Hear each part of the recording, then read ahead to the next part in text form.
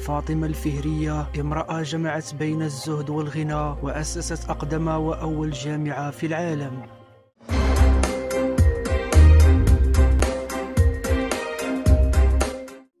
السلام عليكم ورحمة الله. مرحبا بكم.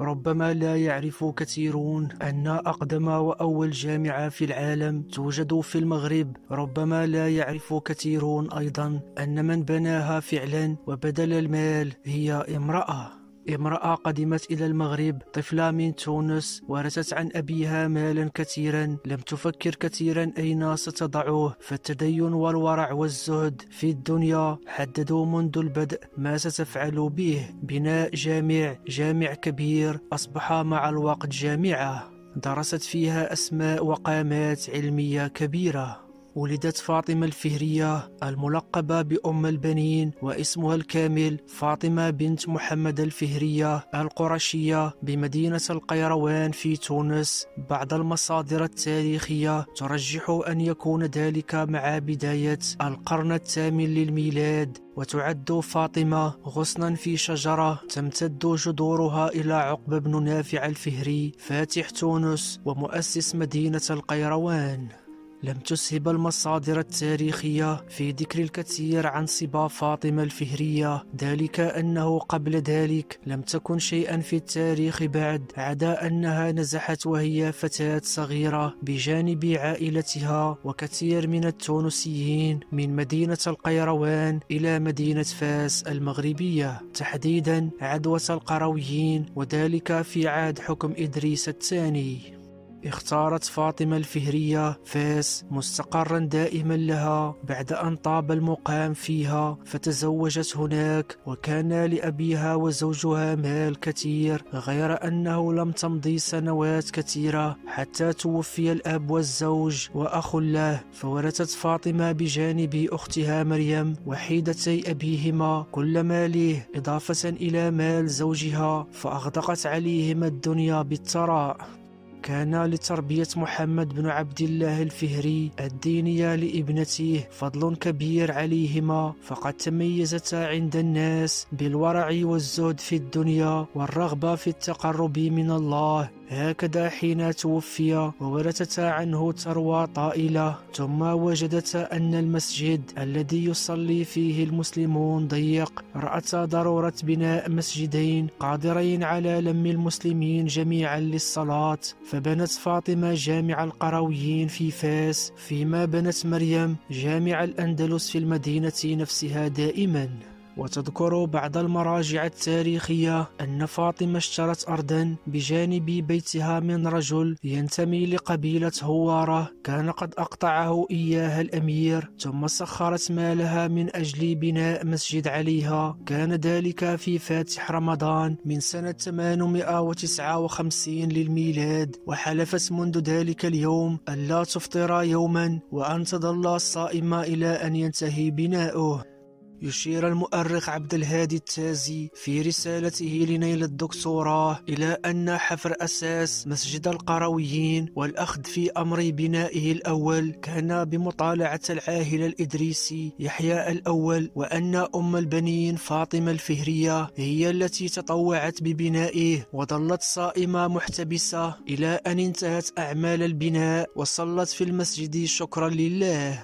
من جهته يذكر المؤرخ التونسي حسن حسني عبد الوهاب في كتابه شهيرات التونسيات أن فاطمة التزمت ألا تأخذ التراب وغيره من مادة البناء إلا من نفس الأرض التي اشترتها دون غيرها فحفرت كهوفا في أعماقها وأخذت تستخرج الرمل الأصفر الجيد والجبس والحجر لتبني به تحريا منها ألا تدخل شبهة في تشييد المسجد. بناء جامع القرويين. انتهى سنة 876 للميلاد أي بعد 17 عاما من أول يوم شرع في بنائه ولم تمر بعد ذلك سوى سنتين أو أكثر قليلا. حتى توفيت فاطمة الفهرية وتذكر بعض المصادر أنها أسلمت روحها لله. بين عامي 878 و 880 للميلاد.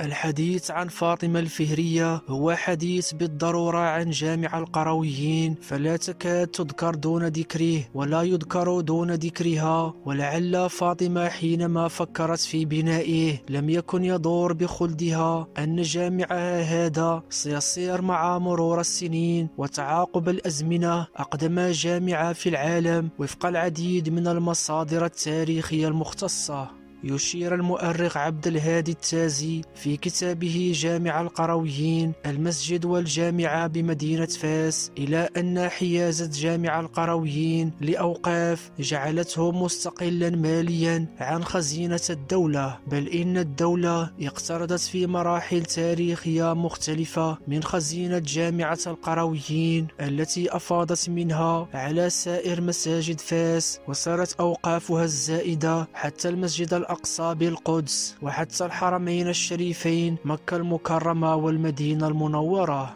في ذكر فضلها على الملوك يقول المؤرخ ابن خلدون فكأنما نبهت عزائم الملوك بعدها وهذا فضل يؤتيه لمن يشاء من عباده الصالحين. والواقع أننا نفهم ذلك مما ورد في كتاب فاس عاصمة الأدارسة لصاحبه محمد المنتصر بالله الكتاني. وعلى مر الدهور والأعوام تنافس الملوك والدول في توسيع بنائه ورصد الأموال للقيام به فزاد فيه أيام الدولة الزناتية. أميرها أحمد بن أبي بكر من خمس الغنائم عام 345 للهجرة وزاد فيه أيام الدولة المرابطية. علي بن يوسف بن تاشفين ثم لم يزل يوسع ويجدد وتزداد أوقافه. أيام دولة الموحدين ودولة المرينيين إلى أيام دولتنا العلوية الحاضرة.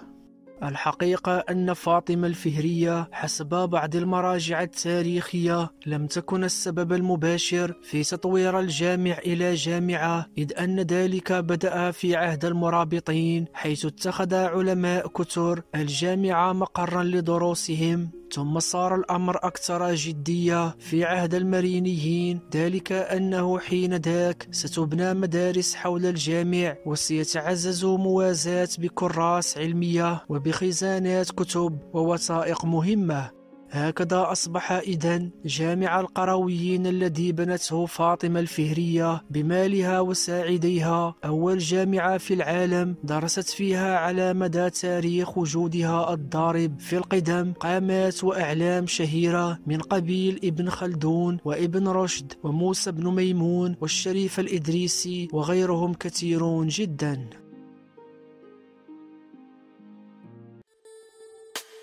شكرا لكم على المشاهدة. لا تنسوا الإعجاب بالفيديو والاشتراك في القناة وتفعيل زر الجرس ليصلكم الجديد. دمتم بخير وإلى اللقاء.